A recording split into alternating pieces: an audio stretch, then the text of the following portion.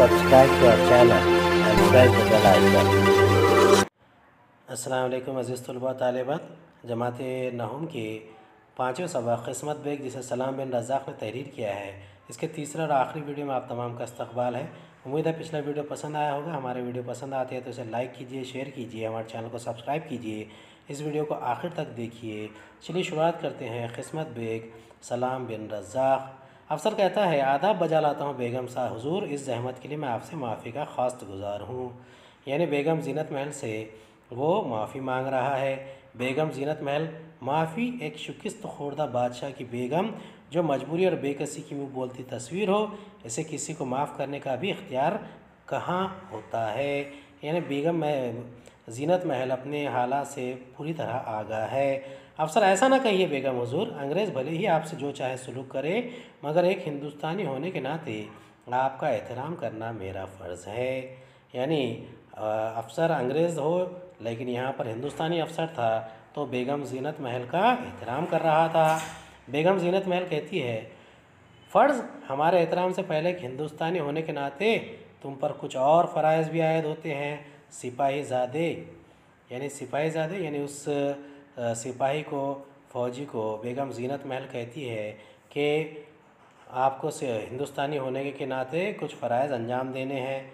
अफसर कहता है, मैं आपका मतलब नहीं समझा, बेगम हुजूर।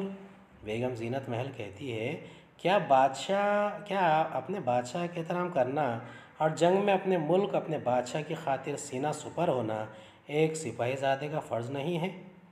यानी वो सिर्फ़ सीना सुपर होना, यानी कि सीने को ढाल बनाना यानी डटे रहना और दुश्मनों का मुकाबला करना, मुराद अंग्रेज़ों का मुकाबला करना। बेगम हजूर, हम अंग्रेज़ों के तनख्वाहदार मुलाजिम हैं। जंग में इनकी हुक्म की तामील करना, हम, करना ही हमारा पहला फ़र्ज़ है। यानी, वो तन, अंग्रेज़ों के तनख्वाहदार थे और इसीलिए वो अंग्रेज़ों के हुक्म की तामील कर रहे थे। बेगम जीनत महल कहती है, तुम क्या समझते हो? अंग्रेज़ों ने चंद सिक्कों के अवस तुम सबके ज़मीर भी ख़रीद लिए। तुम भूल रहे हो कि तुम अंग्रेज़ के सिपाही होने से पहले एक हिंदुस्तानी हो। यानी यहाँ पर बेगम जीनत महल ने उस सिपाही ज़ादे को इस बात की, उसके ज़मीर को जगाने की कोशिश की और याद दिलाया कि वो एक हिंदुस्तानी है। अफसर कहता, बेशक हम हैं। बेगम जीनत महल कहती, नहीं, तुम लोग हिंदुस्तानी नहीं हो सकते, सिपाही ज़ादे। तुम अगर हिंदुस्तानी होते तो संगीनों से अपने भाइयों के सीने छलनी ना करते, बहनों का सुहाग ना उजाड़ते, माओ की गोदे ना उजाड़ते। तुम हिंदुस्तानी नहीं हो, तुम सिर्फ़ अंग्रेज़ों के नवाखार उनके ग़ुलाम हो, बस। यानी यहाँ पर बेगम जहर, जीनत महल ने एक बहुत ही ख़तरनाक इल्ज़ाम आयद किया। संगीन, ये बंदूक का जो सामने का हिस्सा होता है, जिससे बवक्त ज़रूरत, मारा जाता है तो उसे संगीन कहते हैं। तो अपने भाइयों का छलनी करना, बहनों का सुहाग उड़ाना, माओ की गोदे उजाड़ना, ये तमाम बातें बेगम जीनत महल ने हिंदुस्तानी अफसर से कही। अफसर कहता, बेगम, हुजूर, ये बहस का वक्त नहीं है।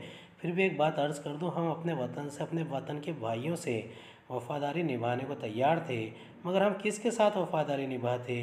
किसके परचम तले हम यकजा होता थे?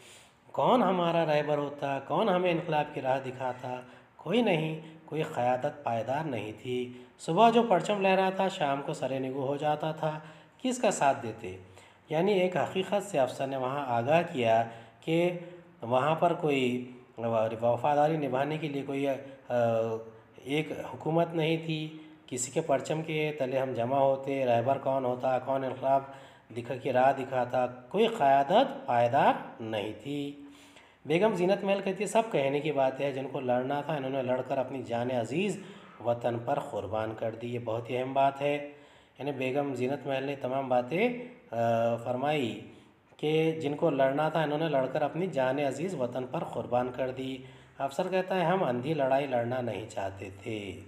यानी ये अठारह सौ सत्तावन का गदर अंधी लड़ाई थी इसे अफसर ने ताबीर किया है। बेगम जीनत महल कहती है, हम सच है, तुम लोग अंधी लड़ाई लड़ना नहीं चाहते। जिनका जज्बा सर्द और ज़मीर बेहिस हो जाता है, वो किसी भी किस्म की लड़ाई नहीं लड़ सकते। खैर, बताओ हमें कहाँ चलना है? यानी कि वो ज़मीर सर्द और बेहिस हो जाना इसकी तरफ़ इशारा किया गया। अफसर कहता है, विल्सन साहब का हुक्म है कि शाही ख़ानदान के हर फ़र्द को इज़्ज़त व एहतराम के साथ कैंप में पहुँचा दिया जाए। बेगम जीनत महल कहती है कैंप कहाँ है? अफसर कहता है, जी हाँ जामा मस्जिद के पास एक कैंप लगा दिया गया है।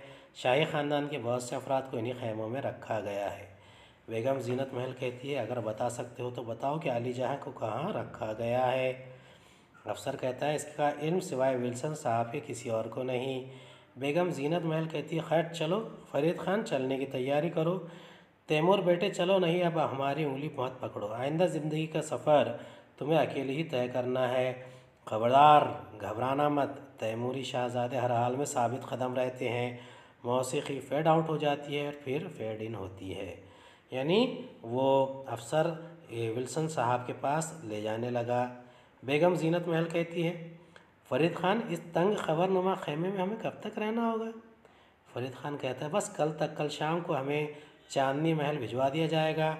बहुत सा, बहुत से शाहजादों और बेगमात के साथ हमें भी चांदनी महल में एक छोटा सा दो कमरों का मकान दिया गया है। बेगम जीनत महल कहती है, और क्या फ़रीद ख़ान? फ़रीद ख़ान रोते हुए कहता है, और दस रुपये माहवार गुजारे के मुकर कर दिए गए हैं। बेगम जीनत महल कहती है, दस रुपये? फ़रीद ख़ान कहता है, जी हाँ दस रुपये, सिर्फ़ दस रुपये। बेगम जीनत महल कहती है, आ भर कर मत रो फरीद ख़ान, इंसान को हर हाल में खुदा का शुक्र अदा करना चाहिए। अल्लाह जानता है कि हमें अपनी रत्ती भर रत्ती भर फ़िक्र नहीं। अगर फ़िक्र है तो बस तैमूर शाह की है। हमारे बाद शाह, शाहजादे का क्या होगा? अभी इसकी उम्र ही क्या है? अल्लाह इसे अपने अमान में रखे। चांदनी महल चलने की तैयारी करो। जब कश्ती के बाद बान टूट जाए तो इसे हवाओं के रुख पर छोड़ देना ही बेहतर होता है।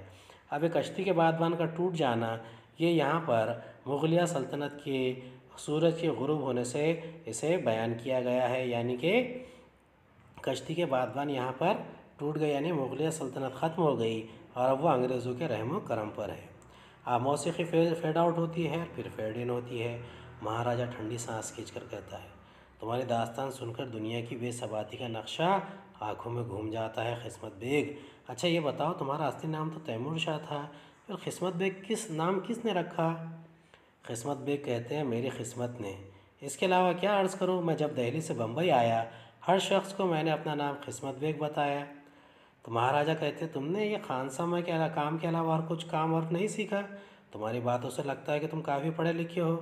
किस्मत बेग कहता है, नहीं हुजूर, मैं कभी मकतब नहीं जा सका। दरअसल दहली में चांदनी महल के करीब एक खानखा थी। मैं वहाँ अक्सर जाया करता था। खानखा में एक दरवेश रहा करते थे और इनकी बातें सुनता रहता। इनका मुझ पर असर होता था। ये जो मुँह खोलने की जुरात कर लेता हूँ, इन्हें दरवेश की सोहबत का फैज़ है। यानी, किस्मत बेग के ज़िंदगी में जो मामला था, तालीम नहीं हासिल कर सका था तो वो चांदनी महल के करीब एक दरवेश के पास जाकर उनकी सोहबत से फैज़ याब होता था। महाराजा कहता है, चलो, हम तुम्हें अपनी रियासत में ले चलते हैं। जो तनख्वाह यहाँ मिलती है इससे दोगुनी तनख्वाह देंगे और तुम्हारी बातें सुना करेंगे, कोई काम नहीं लेंगे।